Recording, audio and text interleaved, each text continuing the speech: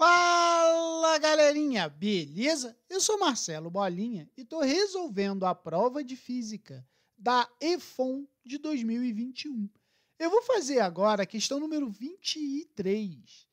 A questão diz assim: um planeta perfeitamente esférico e de raio R tem a aceleração da gravidade G em sua superfície a aceleração da gravidade em um ponto que está a uma altura h da superfície desse planeta vale.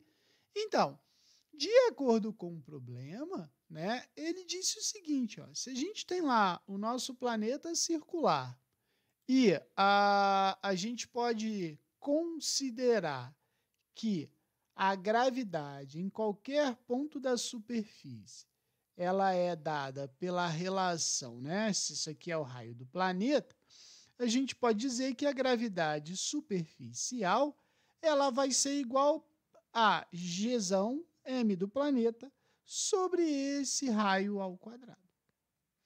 Porém, ele pegou e quer saber o seguinte: qual é a gravidade num ponto P que está a uma determinada altura da, da superfície do planeta. Então, a gente sabe que essa distância toda aqui, ela passa a ser o quê? R mais H.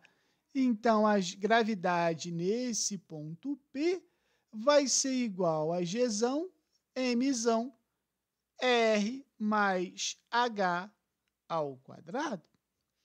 Como essas duas grandezas aqui, elas permanecem constantes, certo?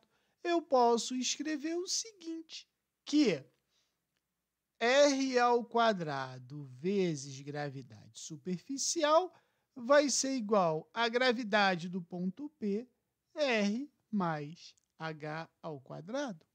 Como ele quer a gravidade nessa altura, eu posso dizer que a gravidade no ponto P vai ser R ao quadrado gravidade superficial divididos por R mais H ao quadrado. Então, se você for olhar, a resposta vai ser a letra B. Beleza? Qualquer dúvida, deixe nos comentários que eu te respondo.